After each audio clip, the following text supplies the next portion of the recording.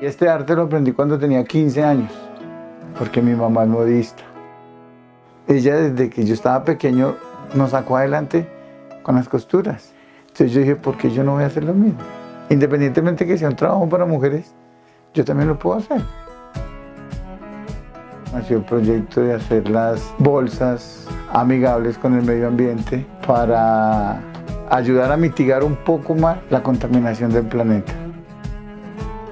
Cometí un error en la vida y estuve en la cárcel.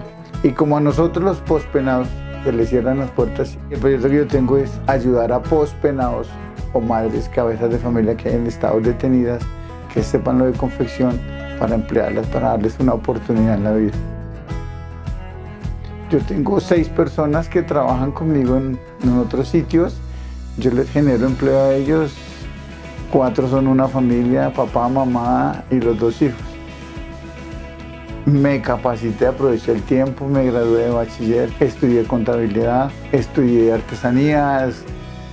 Siento que mis máquinas me están ayudando como si me estuvieran hablando, vamos a trabajar en conjunto. Me están diciendo, hey, tienes grandes ideas, hagámoslas posibles. Mi logotipo es un caballo.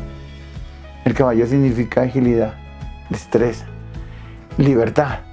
Y eso es lo que yo quiero demostrar con mi proyecto.